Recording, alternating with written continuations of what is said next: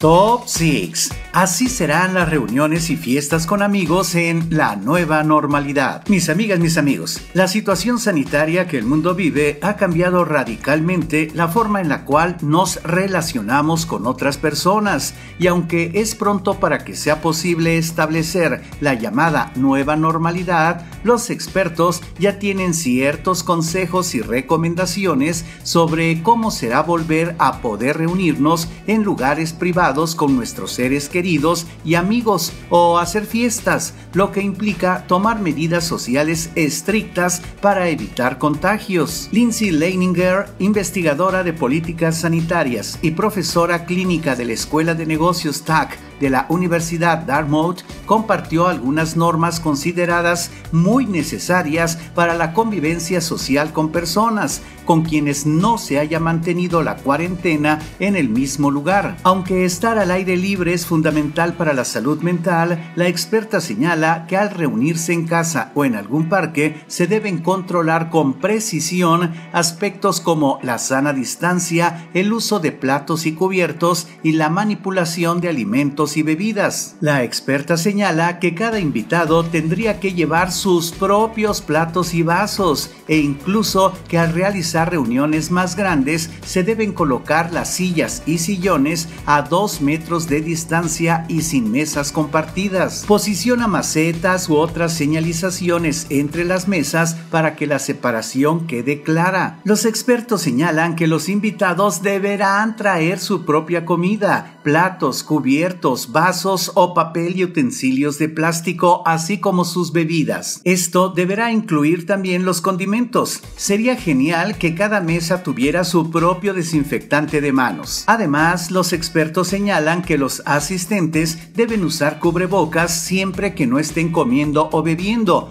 y que debe haber un bote de basura especial para que los invitados puedan depositar su basura sin que el dueño de la casa tenga contacto. Las botanitas y la salsa son una terrible idea afirmó Lindsay Leininger sobre lo que implica que varias personas coman del mismo recipiente. La experta afirma que solo una persona debería servir los alimentos. Si alguien respira sobre la lasaña y todos se enferman por eso, te sentirías terrible como anfitrión, comentó Leininger. Sobre el uso del baño, los especialistas señalan que al emplearlo se debería usar cubrebocas y lavarse muy bien las manos, además de que después de cada uso las superficies deberían ser limpiadas con desinfectante. Los expertos coinciden en que el correcto lavado de manos es un aspecto fundamental. Otros aspectos que van a cambiar radicalmente tienen que ver con la dependencia de la tecnología ahora más que nunca con diversas plataformas como Zoom,